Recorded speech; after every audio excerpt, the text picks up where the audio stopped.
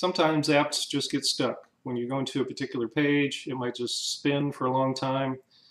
Now there's a lot of things that can go wrong in between your app on your phone. There's a lot of technology that it has to pass through. Of course, there's your connectivity between you and your Wi-Fi router or to your carrier, and then there's uh, the signal that goes from uh, onto the internet then, and then travels to our servers to contact our database, and then it has to come back to you.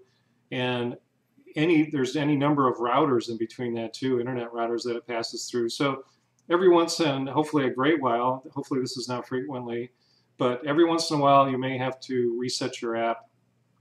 And how you do that is uh, if it does freeze up on you, there's a button at the bottom of every iPhone, this large button at the bottom that you're familiar with.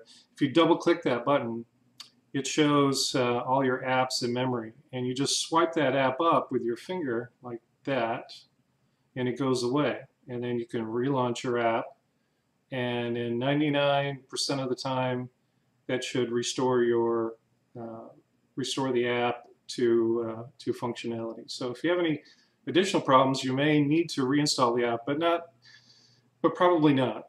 Uh, you probably don't have to actually reinstall the app itself. Um, I've also seen in some rare cases where uh, I just have to reboot my phone. And on an iPhone, uh, of course, you take the uh, the button, the that's on and off and you press and hold the button and then uh, wait for it the screen to clear and then you press the button again on the side this is on the right side of an iPhone and then it will uh, reboot the phone now sometimes um, card readers when you're pushing the card reader in and out and in and out all the time the phone may get locked up uh, and you may have to reboot but that's a very very rare situation in most cases all you have to do is the swipe up that I showed you. Double click the button and swipe up.